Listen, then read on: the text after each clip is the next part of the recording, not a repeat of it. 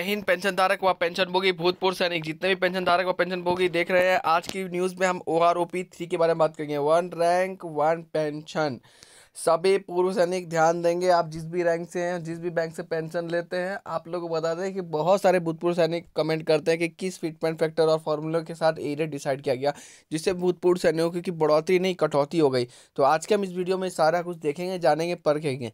साथ ही में equal MSP और corrigendum new corrigendum PPO plus life certificate और हमारे भूतपूर्व सैनिक जिनको एरिया नहीं आया है, वो क्या करें? इसके ऊपर भी हम बातचीत करेंगे। तो चैनल पे अगर पहली बार आए हैं तो चैनल को सब्सक्राइब करके वीडियो को लाइक कर लें, साथ ही साथ शेयर करना ना भूलें। सभी सिपाही, नायक, हवलदार, नायक सुधार, सूबेदार सूबेदार मेजर और ऑनरी लेफ्टिनेंट ऑनरी कैप्टन जितने भी हमारे पूर्व सैनिक हैं, सबसे मेरा निवेदन होगा कि आप लोग चैनल को सब्सक्राइब करके वीडियो को लाइक कर लें।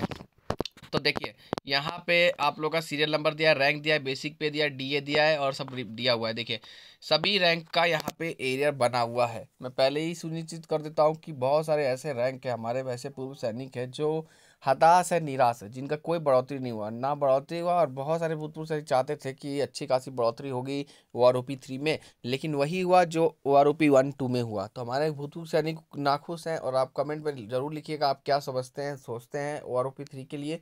इक्वल एम एस पी का केस था जो था सब खत्म हो चुका है।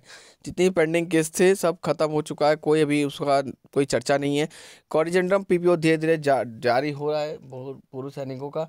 पूर्व सैनिक इंतज़ार रखिए।